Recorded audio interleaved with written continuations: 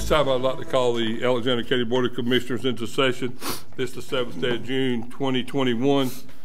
And at this time, I'd like to call on Vice Chairman Ronnie Reese, who will do the invocation, followed by Commissioner Jeff Peel, who will lead us in the Pledge of Allegiance. If you would, please rise. Let's pray. Lord, we come to you at the end of this evening today, thanking you for the blessings you've given to us.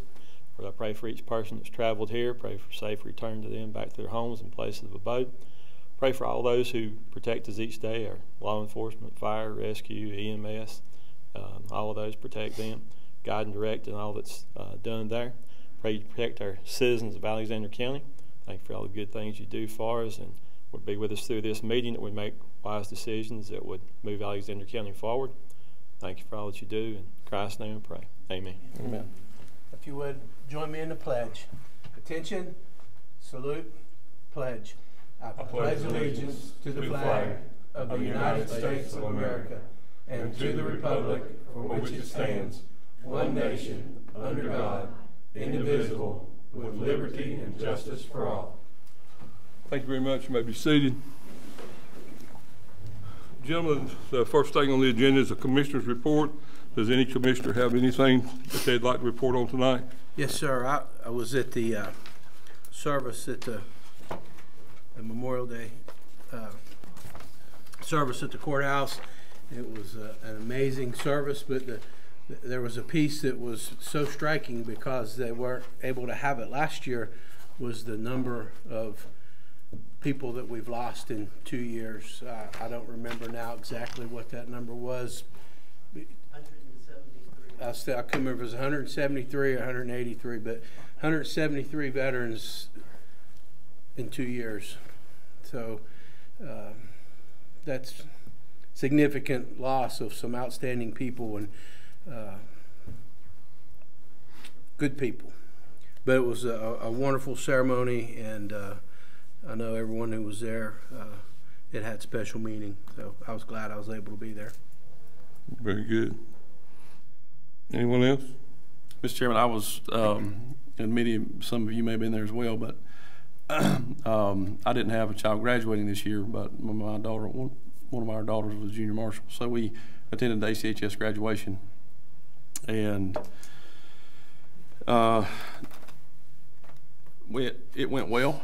Um, I was, you know, I was um, impressed. The principal at Alexander Central seems to have um, have everything under control, and um, you know, had about 240, I think, graduate, and very exciting time.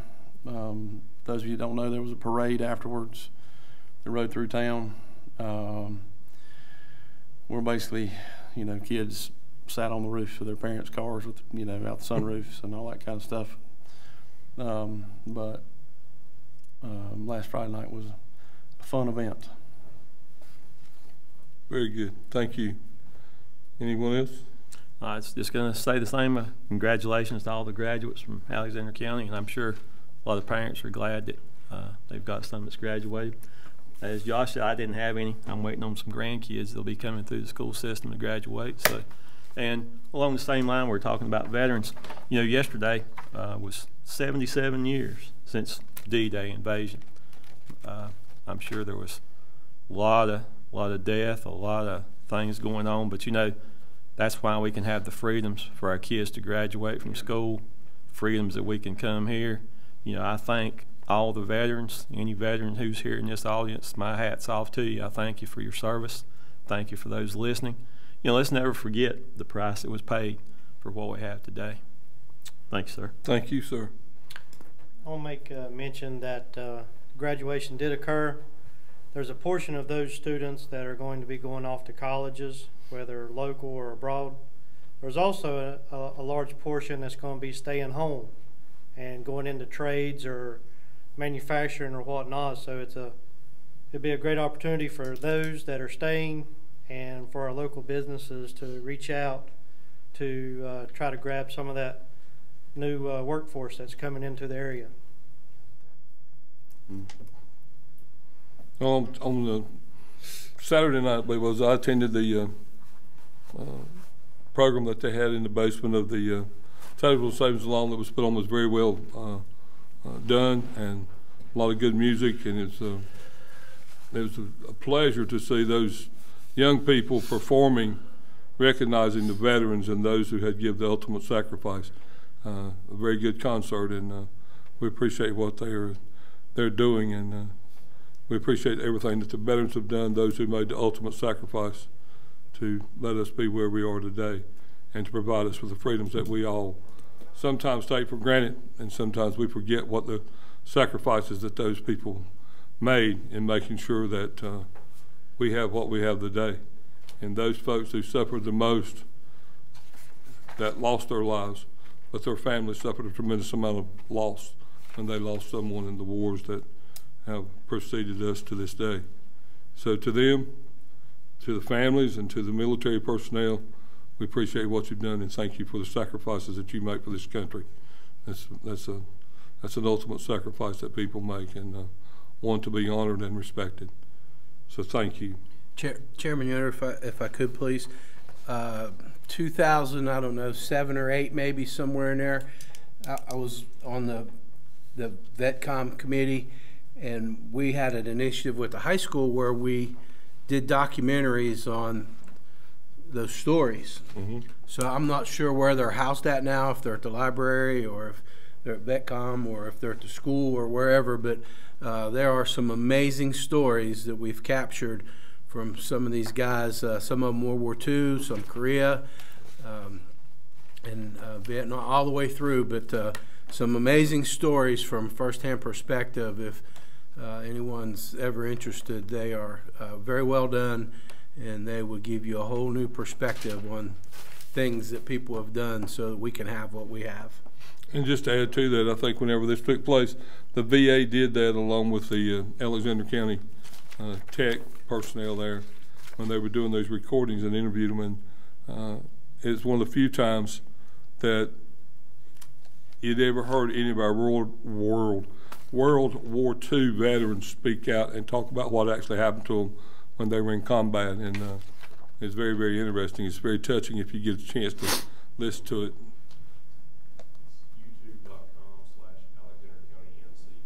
youtube.com slash Alexander County NC. youtube.com slash Alexander Thank you, sir. So you can find those on YouTube, and it'd be very interesting to go back and take a look at those. Some very, very good stories. Very good stories there that uh, these these folks went through. Gentlemen, you have the agenda before you tonight. Uh, I'd entertain a motion to approve the agenda as is. Make a motion to approve the agenda as given. Second. Motion is made, second. Any discussion? There being none, all those in favor indicate by raising your right hand. Those opposed likewise, the motion carries. Madam Clerk, I believe on item number one, we do not have anyone signed up for public comment. All right, thank you. Item number two, public hearing, rezoning case twenty-one two, uh, Royal Comfort Properties. Uh, Seth Harris, zoning administrator. At this time, gentlemen, I'd entertain a motion to go, uh, for a public hearing. Mr. Chairman, I make a motion that we open a public hearing pertaining to the rezoning case twenty-one two for RCSI Properties Incorporated. Do we have a second? Second. Motion is made, second. Any discussion? There being none, all those in favor indicate raising your right hand. Those opposed likewise, the motion carries. Thank you. Mr. Harris? Thank you, sir. This is rezoning case twenty-one two. The applicant and property owner is RCSI Properties, also known as Royal Comfort Seating. Current zoning district is RA twenty Residential Agricultural. Proposed zoning district is LI Light Industrial. The current land use is vacant, and the proposed use is manufacturing and storage. This is located on Aspaw Dam Road, consisting of ten point four five acres. Land uses within one hundred feet include to the north, industrial property currently occupied by Royal Comfort Seating. To the south is residential and agricultural property. To the east is vacant property and residential property, and then to the west is also residential property. All surrounding zoning districts are RA twenty, except for that property to the north, which is light industrial. So again, the applicant has applied to rezone ten point four five acres from RA twenty to LI light industrial. in order to construct a 37,500 square foot building for manufacturing and storage. Manufacturing and storage are allowable uses in the LI zoning district. So the 2008 Alexander County Comprehensive Plan Future Land Use Map shows this area of the county as being commercial in nature. While not consistent with the map, it is within the intent of the comprehensive plan to expand industrial uses in those areas where they existed at the time the plan was adopted. The request is also consistent with the neighboring industrial use. Please note that all the uses allowed in LI district should be considered, not only the use for which the applicant is applying. Per our usual practice, letters were sent by first-class mail to property owners within 100 feet, and a sign was posted on the property, and a notice was put in the paper. Staff does recommend approval of the request based on being consistent with the intent of the 2008 Alexander County Comprehensive Plan. And on May 6th, the Planning and Zoning Commission met and they unanimously recommended approval of the request due to the same reason, uh, being consistent with the intent of the 2008 Comprehensive Plan and compatible with adjacent uses. We have some maps here and a site plan. And the applicants are here with a more detailed site plan if you have more questions about that. Any questions for staff? Not at this time, I don't believe. Is anyone, would you gentlemen like to speak? Okay. Okay, all right. Does anyone have any questions or concerns? Okay. There being, anybody from the audience that would like to speak? I'm excited that you're building a building. Absolutely. Uh, There being no, uh, uh, one from the audience that would like to speak, uh, at this time, I would entertain a motion to close the public hearing. Make a motion to close public hearing on rezoning case twenty-one two. Entertain a second. Second. Motion's made and second. Any discussion? There being none, all in favor of closing the public hearing, indicate by raising your right hand. Those opposed likewise, the motion carries. Thank you very much. Gentlemen, I'd entertain a motion at this time. Mr. Chairman, I would make a motion that we approve rezoning case twenty-one two based on the request being consistent with the intent of the two thousand eight comprehensive plan and its compatibility with adjacent uses. Thank you. Second. Motion's made and second. Is there any discussion? There being none, all those in favor indicate by raising your right hand. Those opposed, there's motion carries unanimously. Thank you, gentlemen. We look forward to your expansion. Love to see that happen in Alexander County, Go get 'em. especially with local people doing get it. 'em. That's great. Thank you. Yes, sir. Item number Make those changes. Three, Alexander County Broadband Project Update, Nick Stewart. Oh, David Moose is going to do this. Very good, sir. David? Thank you. We're going to tag team it. Um, So we want to bring the board a uh, brief update about the broadband expansion project here in Alexander County. Uh, This has been going on for just a little while now. Uh, We met, staff met on uh, May 14th with uh, Open Broadband staff and discussed the progress of the project. Um, The work for Phase One, as you might recall, we've broken the project up into two phases. Uh, The work for Phase One is progressing. We have had a few delays. Um, Primarily, that has been uh, slow negotiations for a lease uh, for a tower site on Moore Mountain. But there is progress moving forward on that. Um, Open Broadband also uh, has added three new hub sites, actually four. Um, at the end of this week, there's another one going online. So uh, they've added three new hub sites um, that are currently online one in Rocky Face uh, Baptist Church area, one in the Fairview Baptist Church area, and a uh, residential hub off of Rocky Springs Road, I believe it is. Yeah, Rocky Springs Road. Um, Open Broadband staff have also modified the distribution, the proposed distribution of equipment. Uh, originally in the plan, uh, they were going to add uh, quite a bit of equipment to the uh, Linney's Mount or the yeah, Linney's Mountain Tower. Uh, they've proposed to spread a little bit of that equipment out to some other tower sites to provide better coverage and just a little bit less uh, loading on the Linney's Tower. Um, Phase two is in, still in final development stages. There are several tower sites that are being considered. These, uh, phase two would provide service to the eastern and southeastern portion of the county.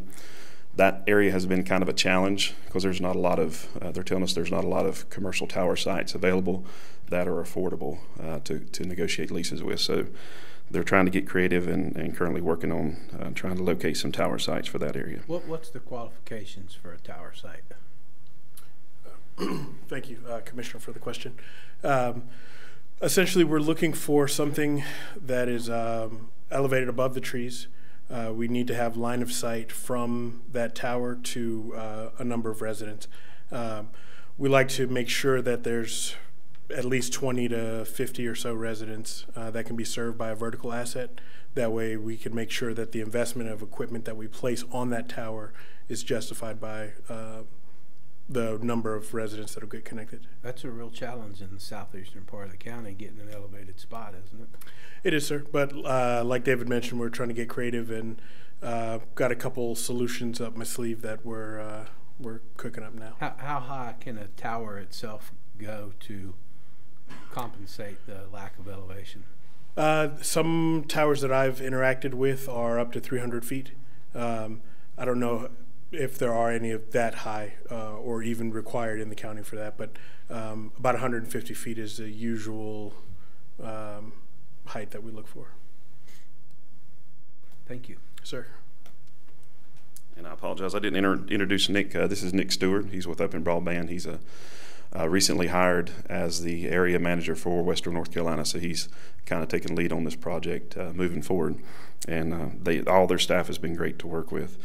Um, currently, they have about 150 total customers on Open Broadband service. Now, that's a cumulative uh, number from the pilot program moving forward.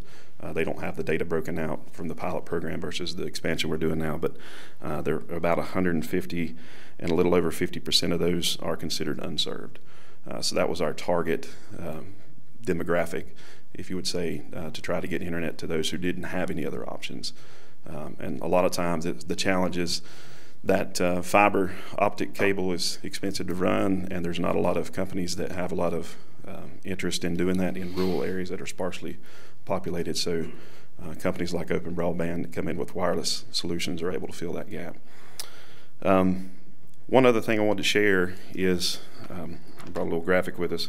There are some uh, staff from Open Broadband that are in the area. They're going out and testing areas uh, where they suspect they have service, and then they are notifying uh, people, homes who may be potential customers. And so uh, citizens may notice a door hanger similar to this on their door. Uh, it gives very detailed instructions about whether or not they are eligible for service um, be, to be served by Open Broadband and gives them instructions about how to contact the company to initiate service if they wish to. So just want the citizens to be aware there are contractors in the area that are working for Open Broadband, uh, and you may see those door hangers on your door. And with that, we'll entertain any additional questions the board may have. Are, are the vehicles, these folks that are going out, are the vehicles well marked?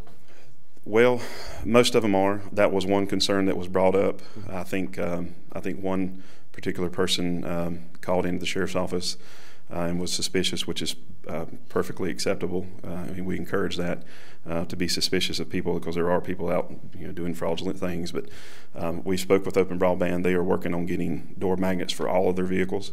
Um, so if that's not in place quite yet, it will be very soon. So they should be marked, uh, and and all their staff are uh, have been instructed to identify themselves as being with them. And also, will they have a, a shirt on that says who they are?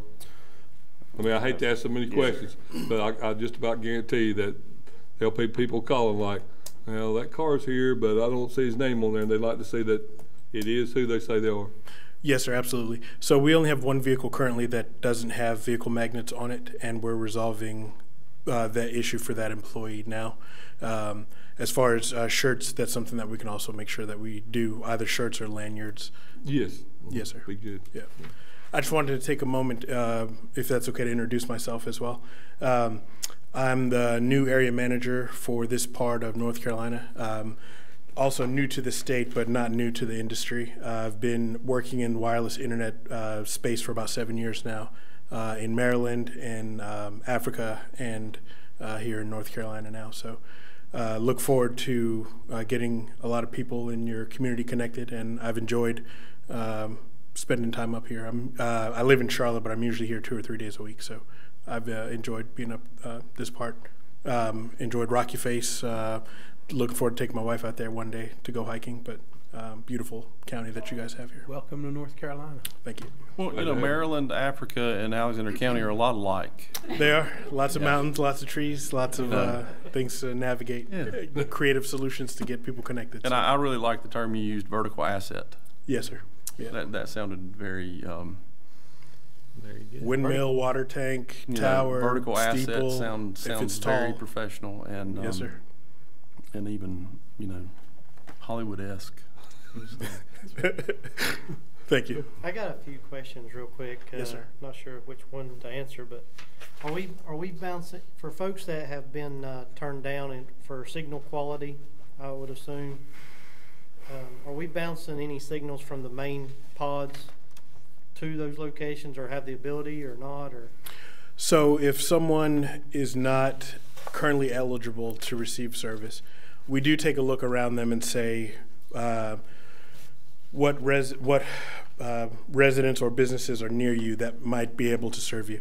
The issue that we run into is if your house is completely surrounded by trees and you can't see anyone, um, that's uh, going to be a tough one for us to, to navigate. But um, In addition, as we add extra hubs and continue moving through phases, uh, we take a look at those addresses before. Our goal is to get as many people connected as possible, especially if we know they want our service because they've reached out to us. So it's tough when we tell them we can't yet get them connected, but we're always uh, double checking and verifying. Is there a possibility if someone's uh, uh, been turned down the service because of the the signal quality or whatnot, and the new sites are going up, should they reapply or not?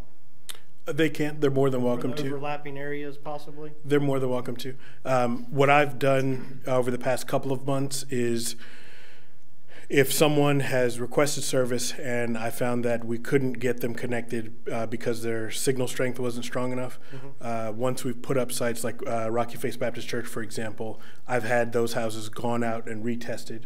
Uh, and we've had uh, two or three even last week who weren't uh, able to receive service before who are now uh, connected. All right, one more question. Yes, sir. I know I'm full of them right now, but uh, as far as, um, do we have a backlog of installs waiting to happen? We do. Um, so typically, I'll schedule uh, installs about a week out. Uh, I know that we have two confirmed on Thursday uh, and a new hub with two or three other residents that'll be fed on it Thursday and Friday that we're playing with. One of those installs was pushed from last week. Uh, the customer had wasps' nests that they're spraying for. So once that gets sorted, we'll get them connected. Yeah, thank you. Sir. Any other questions? Very good, glad to have you, thank you. Sir, sir. thank you. Keep working. Thank you. Thank you, gentlemen. Item number four on the agenda tonight, Alexander County 2021-2022 Budget Ordinance, Mr. Rick French, County Manager. Thank you, Mr. Chairman. In your packets, you have a copy of the 2021-22 budget ordinance for Alexander County. Uh, The information and numbers follow the public meetings and hearings that we've had. Um, There are three uh, fee increases, uh, one involving water rates going up three percent, uh, increase in both C and D and MSW at the, at, at, is proposed for landfill, and fee changes are recommended from EMS management and consultants, uh, as we discussed in our public meetings. Um, I think everything else is, I'll say normal, but runs along the similar lines as in the past, but this is our, our budget ordinance for next fiscal year. So be glad to try to answer any questions. Mr. Mr. uh, Mr. French, if you don't mind, the total budget for this year versus the total budget for last year, if you just let the folks know what that was. It's forty-five nine, forty-five million nine. Last year was right at uh, forty-three million. Okay. Thank you. Sir. Gentlemen, does anybody have any questions?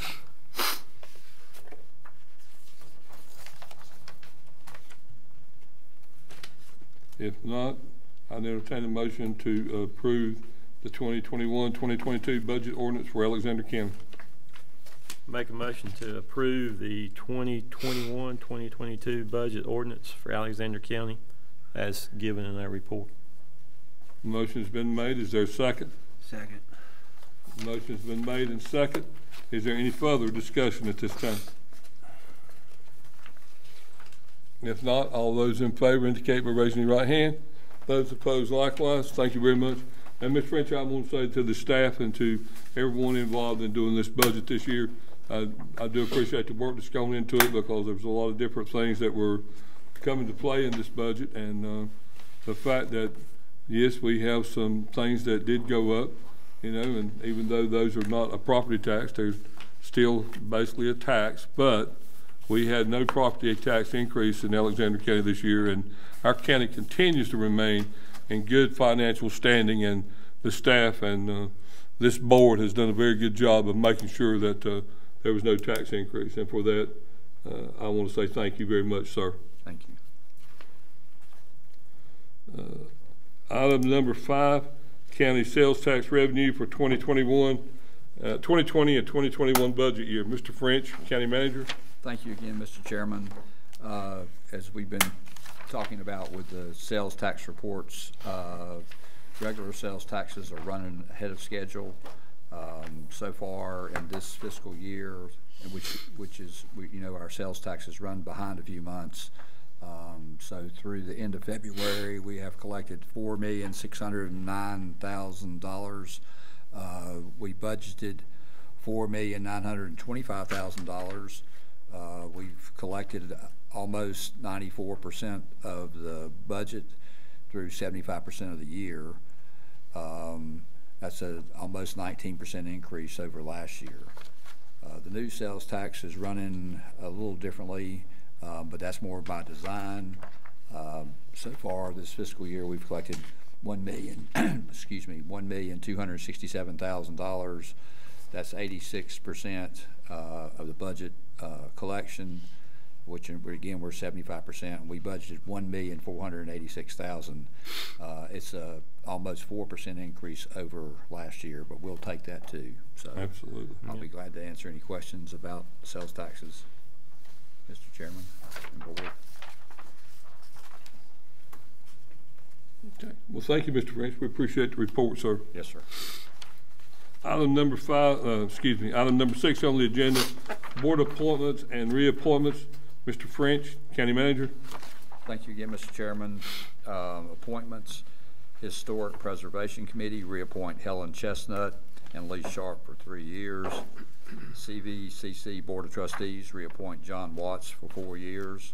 Juvenile Crime Prevention Council, appoint Kathy Riddle, Jason Hughes, Ashley Moretz for two years. Reappoint Chris Bowman, Krista Hyatt, and Ronnie Reese for two years.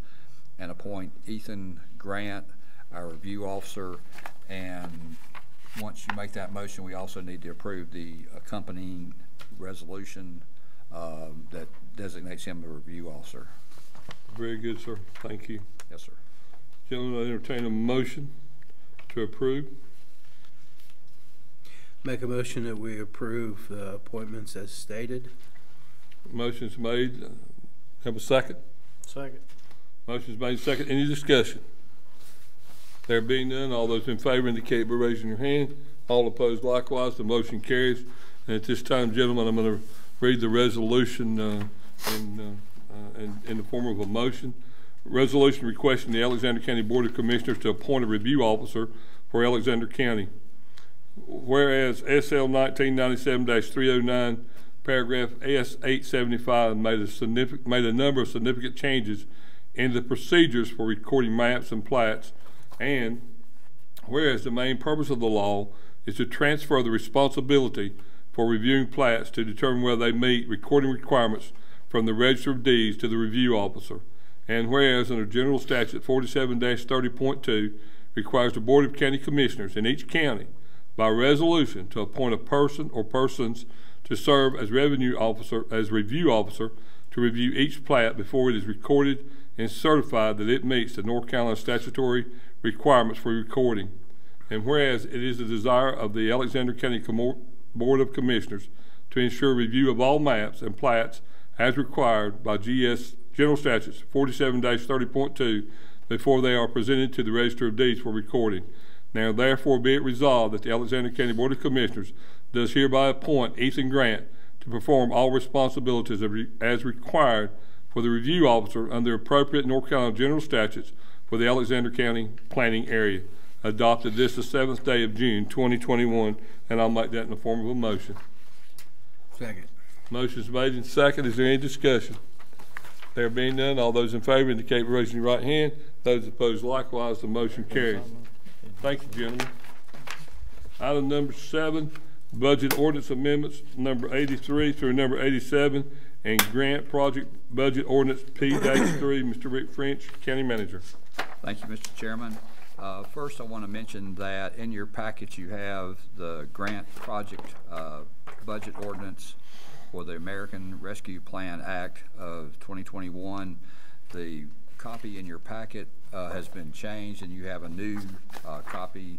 uh, And the new copy has uh, the American Rescue Plan funds to be used hundred percent for water infrastructure expenses, and that's in line with the legislation that's going on, so we'll, we'll talk more about that, but that's where we'll, we'll, we're asking you to start, is at that point. Um, and I'll be glad to answer questions about that. Um, we also have four, we have, uh, several budget amendments, eighty-three through eighty-seven. Uh, budget eighty, budget amendment eighty-three is the budget for payouts of vacation, holiday, comp time through May of twenty twenty-one for employees leaving during the twenty twenty-one year.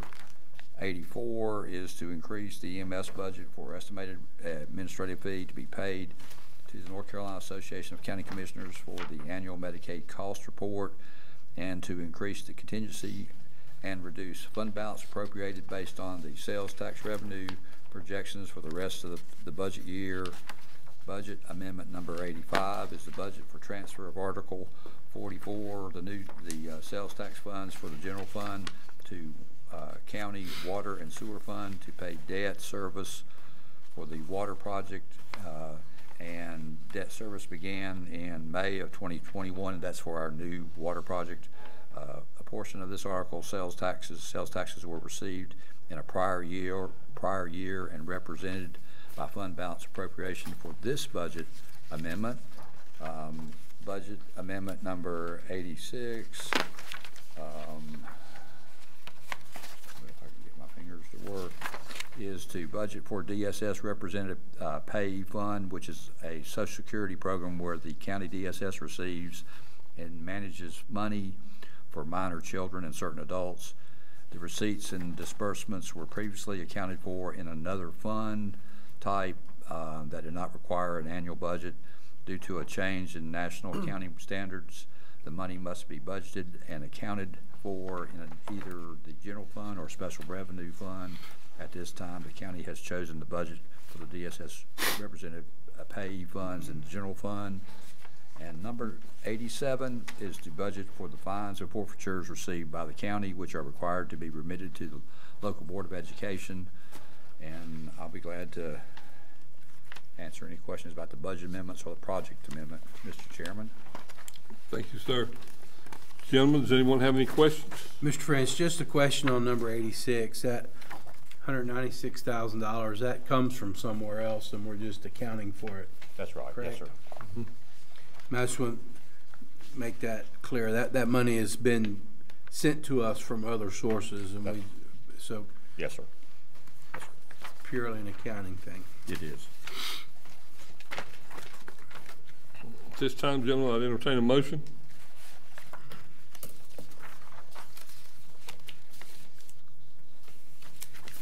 Make a motion to approve budget ordinance amendments eighty-three through eighty-seven, um, as stated by county manager And the The grant project. in the grant, yeah, and the grant P project. three. Ordinance. That grant project budget ordinance P three. Uh, the motion has been made. Uh, is there a second? Second. Motion made and second. Any discussion? There being none, all those in favor indicate by raising your right hand. Those opposed likewise, the motion carries. Thank you, gentlemen. Item number eight on the agenda, other business, county manager's report, Mr. French. Thank you again, Mr. Chairman. Uh, Just a couple things to mention. In your packet, you have some information about the news about Vaya Mental Health and Cardinals Innovations, the merging of those two entities, LME MCOs. Uh, At this time, it appears that 14 counties from Cardinals are, Cardinal are going to join Vaya's 22 counties. Uh, This is going to take some time to work, work through this. Uh, but the merger, the merger will actually take place in July first of twenty twenty-two. Um, also, you have two House bills in your packet, uh, well, have, you have one in your packet and one that we gave to you, passed out to you. Uh, one is for the broadband, uh, program that's being set up by the state, and the other is something that we talked about at our last meeting, which is, uh, a bill for, uh, to create a state building code permit tech, technician certification for employees that work in building inspections. Um, also, we, this week, we had our meeting with Lael Builders, uh, no relations to Josh, uh, starting soon at Courthouse Park. Uh, that project will take approximately hundred and twenty days to complete. And that's all I have, Mr. Chairman. I have some things for closed session, though. Very good, sir. Thank you. Thank you. Any Mr. French. questions? Question. Go ahead. No, sir, you go ahead, you first. On the courthouse park, what is the groundbreaking day? We don't have it set yet. Okay. Mr. French, with Vaya Health and Cardinal Innovations, um, it, uh, I, I know it's nobody's fault at the table, but it really seems like there's a big transformation every year or every two years, and how, how does the state expect people to get set in any kind of consistency when this happens so often? That's a great question. I don't really know the They answer don't. to that. I've been involved with it for some time. Um, I think it makes it confusing, but, um, under the circumstances, what's happened over the years is at one time there were over thirty LME MCOs and now they'll, after this, there'll be five.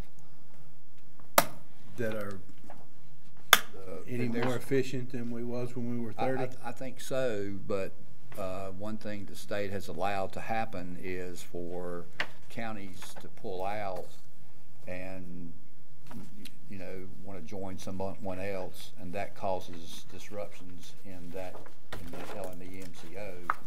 And for example, in Cardinal, um, Mecklenburg County pulled out, uh, Forsyth County pulled out, and they joined other LME MCOs, which caused a ripple effect. And so five, I think five counties, maybe six, actually went other places, which caused Cardinal to, I mean, they'll eventually, um, I'll say, will merge with Vaya. That's the best way to say it. So, um, and we've asked the state on numerous occasions to have a different process so that this can't so, I'll say so easily pull out. There's, re- everybody has their reasons, but a lot of times it, it doesn't seem, um, I'll say as responsible as it should be because it's confusing the clients, the consumers and the family members. It's very confusing to them. They don't know, they, you know, I won't say they don't know what's going on, but it does make it confusing for them. Well, then it just upheavals It the does. whole DSS department as well. Right. Mm-hmm. I mean, you, you can't get any solid, it's like you're in quicksand all the time and, Yeah. and you almost start, stop sinking and then you get thrown in more quicksand. I, recently attended, uh, Vaya has a seat, has several CFACs, which are the Consumer and Family Member Advisory Committees. And a couple times a year, all three of those groups get together. And there was a lot of concern from members about what's going on, especially now. Um, you know, it's, it's not only the merger part of, there's just so many other parts to this, um, that makes it difficult for, for, um, those consumers and those clients to understand the programs that are being offered to them. Yeah, the service to the person who needs it gets lost in all the conglomeration of mess. It also puts a lot of pressure on our DSSs and our health departments. Um, and it, and it's just something we have to do a better job at, at educating people on what they need to do. Um, so, Thank you. Yes, sir. That's one of the, that's one of the big drawbacks on mental health, trying to get help is nobody really knows where to go or what to do anymore. Right. And it's been this way for last fourteen years, it seems like, or longer. Well, It's it's, it's, continuously- it's sort of been at different stages, and Yeah. you're, but you're right, Mr. Chairman, you're right. It's been something all along. It has. Uh, anybody else have any questions? Uh, the consent agenda, I consent. Make a motion to approve consent agenda as given in our packet. thank you. Do we have a second? Second. Motion is made and second, uh, to approve the consent agenda. Any discussion? There being none, all in favor indicate by raising your right hand. Those opposed likewise. The motion carries. Uh, at this time, uh, we will go into adjournment and go into a closed session under North Carolina General Statutes one forty-three three eighteen point eleven, paragraph A, subsection four, five, and six, economic development, contractual, and personnel. We will re-adjourn for the primary purpose of adjournment only, and we will not be taking any action whatsoever. Thank you. I entertain a motion to go into Mr. closed Chairman, I'll session. make a motion, we go into closed session. Motion's made, is there a second? Third. All in favor? All in favor, raise your right hand. Man. Thank you.